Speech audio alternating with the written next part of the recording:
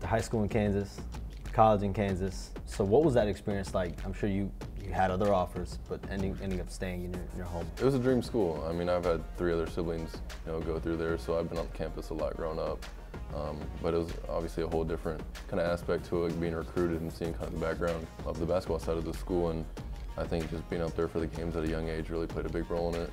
Um, obviously, being in Kansas played a big role, and just um, the coaching staff, you know, the history of the school in general. I mean, you got the, the rules of basketball, you know, in Lawrence. So um, the history there, when you walk in Allen Fieldhouse, it's just a, it's a whole different feeling I've never felt. So it was really, you know, an easy choice to, you know, to make. You have some toughness to you, some grit.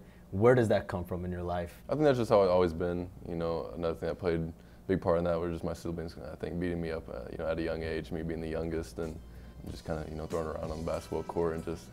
Um, I was never, you know, allowed to win anything until I, you know, got to that point where I earned it. So um, once I got to that point, you know, it just really built me into the, you know, the person that I am today, and that's just where I have the most fun playing. You know, when I have that competitiveness and just yelling, you know, talking trash in games, whatever it may be, just having that energy throughout games, um, it just makes it a whole lot more fun to me. Being the youngest, at what point, like you said, you have to earn your stripes, earn your respect. At what point did you start winning those games? I think the first games would probably start with ping pong. I think that was the first where I started to get better than my, my siblings, but my brothers they couldn't they couldn't mess with me in ping pong.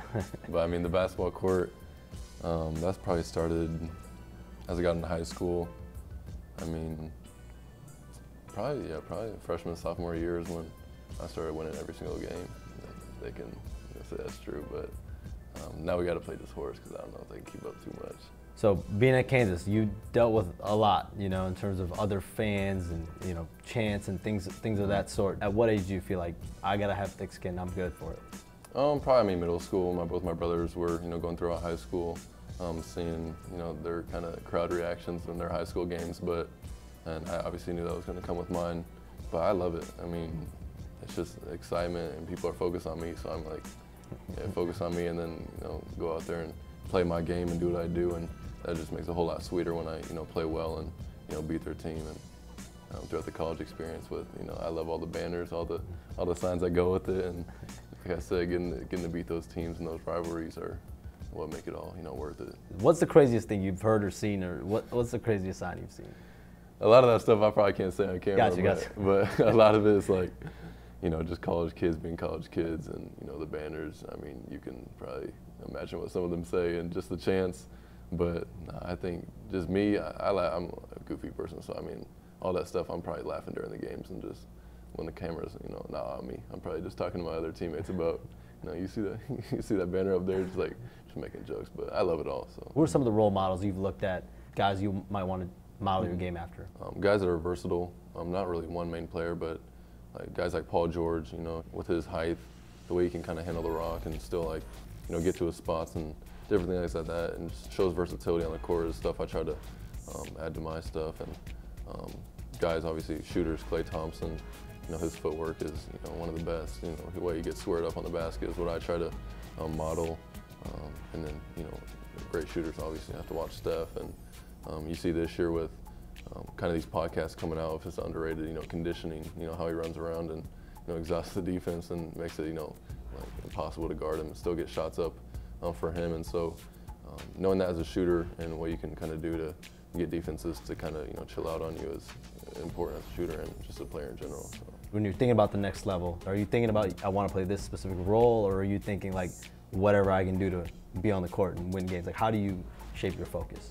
Yeah, my mindset going into um, whoever I get drafted by is just to do anything in my power. You know, like you said, to win. And you know, a lot of players, you know, can kind of say that, but I think my mindset's just I'm going to go into any organization, any city, and um, really just buy into the team. Like, I'm the type of player where I honestly don't care what my role is. You know, they give me the role, they tell me what to do, and you know, I'm just going to go there and try to perfect it the best I can. And um, I've never really been the player to kind of, you know, play bigger than myself. You know, I'm, I know my game. You know, better than anyone, obviously, because it's my game. So I'm not going to go there and try to be someone who I'm not. You're going to be in the NBA here soon. There's a lot of ways to study the game, film sessions, you know, mentorship, things like that. What are you going to focus on mostly here the next several months? Yeah, I think there's, you know, a ton of important things you can do on the court, obviously, with um, just getting better um, and getting more prepared for um, the, my rookie season. But I think off the court, what I'm trying to just uh, maintain is really just the nutrition part of everything. You know, I, I've learned a lot about some helpful things of, you know, what really goes into, you know, keeping your body right. You know, you learn a lot about, you know, how much the guys kind of um, take, you know, spending money on just, you know, diets and, um, you know, chefs and everything like that. And it's, you know, cool to see, you know, the transformations that they make. And, you know, just kind of the stuff a lot of people kind of maybe pass over and see that, you know, you get your body right, you know, you can, you know, stay and play for a lot more years than, you know, you think you can. So just, you know, keeping those little things um, in your head and just knowing that they're actually big in the end. So. You're going to be a rookie here soon. Summer league's right around the corner in a couple months. What is your biggest goal as you start your NBA career? Um, just be prepared, you know, from the get-go. Hit the ground running. Um, do everything in my power that you know gives me the best opportunity to to um, just be who I am as a player, and then you know just give the, the city and the organization who drafted me, you know, the player that they they wanted. So just to, yeah, like I said, just go and be be consistent. Um, all the work that you know I've done in the past, just know that in my head that is paying off, and that um, there's still more work to do. When I get drafted, that's when everything begins. That's not the end goal at all. So just keeping that in my head and uh, yeah, hit the ground running.